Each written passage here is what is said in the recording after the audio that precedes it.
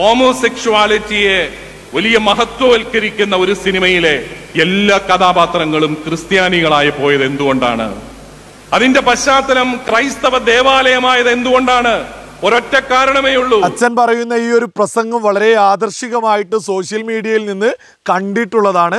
അദ്ദേഹം ഉയർത്തുന്ന വിഷയം എന്ന് പറയുന്നത് നമുക്കൊക്കെ തന്നെ അറിയാം. ഈ അടുത്ത് മലയാള സിനിമയിൽ ഇറങ്ങിയിട്ടുള്ള മമ്മൂട്ടി നായകനായിട്ടുള്ള കാതൽ സിനിമയിലെ പാശ്ചാത്തലത്തെക്കുറിച്ചാണ് അദ്ദേഹം പറയുന്നത്. നമുക്കൊക്കെ അറിയാം ആ സിനിമ കണ്ട ഏതൊരാൾക്കും ഞാനും കണ്ടിട്ടുണ്ട്. ആ സിനിമയിൽ ഹോമോസെക്ച്വാലിറ്റിയെ സപ്പോർട്ട് ചെയ്തുകൊണ്ടുള്ളൊരു സിനിമയാണ്. ആ ഒരു സിനിമ എങ്ങനെയുണ്ട് എന്ന് ചോദിച്ചാൽ എനിക്ക് ആ സിനിമയോട് അഭിപ്രായമോ അഭിപ്രായ കേടോ ഇല്ല.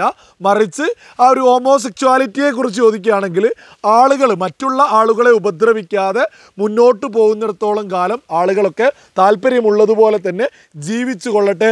നമ്മൾ ഈ വീഡിയോയുടെ വിഷയം എന്ന് പറയുന്നത് നമ്മുടെ ഈ അച്ഛൻ പ്രസംഗിച്ചിട്ടുള്ളതിനെക്കുറിച്ചാണ് അദ്ദേഹം പറയുന്നത് ആദ്യം അദ്ദേഹത്തിന്റെ ആ ഒരു പ്രസംഗത്തിലെ പ്രസക്ത ഭാഗം നമുക്കെല്ലാവർക്കും തന്നെ ഒന്ന് കേൾക്കാം. നമ്മുടെ ഇപ്പോഴത്തെ മാധ്യമങ്ങളൊക്കെ നമ്മളെ വലിയ ഒരു ഇരുട്ടിന്റെ ഒരു മറവിൽ നിർത്താനായിട്ട് പരിശ്രമിക്കുന്നുണ്ട്. നമ്മൾ ചെയ്യുന്ന നന്മകളെ കുറിച്ചൊന്നും ഒരു വാക്ക് പോലും പറയാതെ നമ്മളെ വെറും വിദ്യാഭ്യാസ കച്ചവടക്കാരായി മാത്രം ചിത്രീകരിച്ച് നമ്മൾ എന്തെല്ലാം ചെയ്യുന്നു അതെല്ലാം പണമുണ്ടാക്കാൻ വേണ്ടി മാത്രമാണെന്ന് പറഞ്ഞ് നമ്മുടെ അഭിമാനബോധത്തെ തകർക്കാൻ അവർ ശ്രമിക്കുന്നുണ്ട്.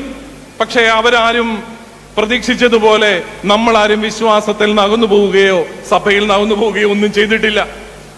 നമ്മൾക്ക് നമ്മളെ പരിഹസിക്കുന്ന നമ്മളെ അപമാനിക്കുന്ന ചലച്ചിത്രങ്ങൾക്ക് അവർക്ക് മെച്ചപ്പെട്ട നിർമ്മാതാക്കളെ കിട്ടുന്ന ഒരു കാലഘട്ടമാണിത്. നമ്മൾക്കെതിരെയുള്ള വാർത്തകൾക്ക് സ്പോൺസേഴ്സിനെ കിട്ടാൻ ഒരു പഞ്ഞവുമില്ലാത്ത ഒരു കാലമാണിത് എന്നുള്ളത് നമ്മൾ തിരിച്ചറിയണം. ഈ കഴിഞ്ഞ നാളിൽ നമ്മുടെ വലിയ ആരാധ്യനായ മമ്മൂട്ടി എന്ന് പറയുന്ന താരമൂല്യമുള്ള നടൻ അഭിനയിച്ച ഒരു ഒരു സിനിമയിൽ അത് ഹോമോസെക്ഷുവാലിറ്റിയെ വലിയ മഹത്വവൽക്കരിക്കുന്ന ഒരു സിനിമയിലെ എല്ലാ കഥാപാത്രങ്ങളും ക്രിസ്ത്യാനികളായി പോയത് എന്തുകൊണ്ടാണ്? അതിന്റെ പശ്ചാത്തലം ക്രൈസ്തവ ദേവാലയമായത് എന്തുകൊണ്ടാണ്? ഒരൊറ്റ കാരണമേ ഉള്ളൂ. നമ്മളെ അപമാനിക്കാനൊന്നും ചെയ്തതല്ല. വേറെ ഏതെങ്കിലും മതത്തിന്റെ പശ്ചാത്തലത്തിൽ ആ സിനിമ എടുത്തിരുന്നെങ്കിൽ അത് തിയേറ്റർ കാണത്തില്ല. അത്രയേ ഉള്ളൂ. അവർ തിയേറ്റർ കത്തിക്കും.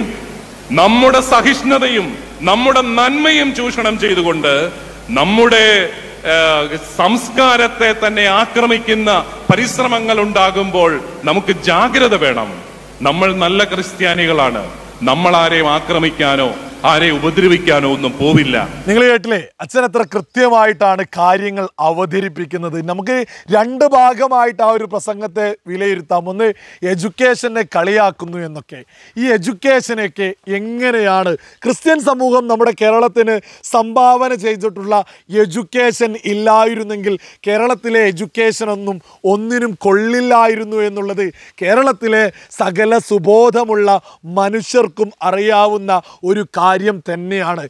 ഞാൻ സെന്റ് മേരീസിലാണ് പഠിച്ചിട്ടുള്ളത്. അതെന്തുകൊണ്ടാണ് ഇത്ര അഭിമാനത്തോടു കൂടി മുന്നോട്ട് വെക്കുന്നത് എന്നുള്ള ഒരു ചോദ്യത്തിന് അത് അത്രയും ക്വാളിറ്റിയുള്ള വിദ്യാഭ്യാസ സ്ഥാപനമായത് കൊണ്ട് തന്നെയാണ്. ഞാൻ ഈ പറഞ്ഞതുപോലെ തന്നെ കേരളത്തിൽ ലക്ഷക്കണക്കിന് വിദ്യാർത്ഥികൾ പറയും നമ്മൾ പഠിച്ചിട്ടുള്ളത് ഇന്ന സ്ഥാപനങ്ങളിലാണ് ഇന്ന മാനേജ്മെന്റിലാണ് എന്നുള്ളത്. അത് ആ ഒരു എഡ്യൂക്കേഷന്റെ ക്വാളിറ്റി തന്നെയാണ്. നമുക്കൊന്നും ഒരിക്കലും വില കുറച്ചോ അല്ലെങ്കിൽ വില വിലമതിക്കാനോ സാധിക്കാത്തത് തന്നെയാണ് ക്രിസ്ത്യൻ സമൂഹത്തിന്റെ കേരളത്തിലെ വിദ്യാഭ്യാസത്തിന്റെ സംഭാവന എന്ന് പറയുന്നത്.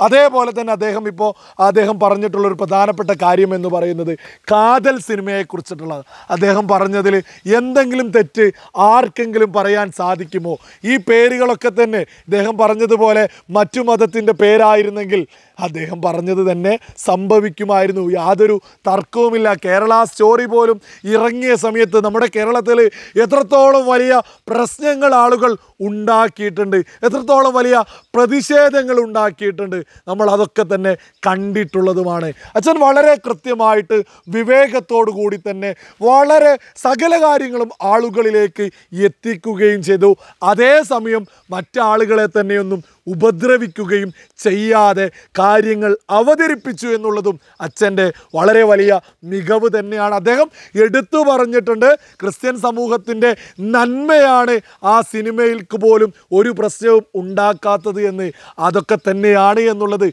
ഈ കേരളത്തിലെ സകല ബോധമുള്ള ആളുകൾക്കും അറിയാവുന്നതാണ് മനസ്സിലാക്കാവുന്നത് മാത്രമേ ഉള്ളൂ.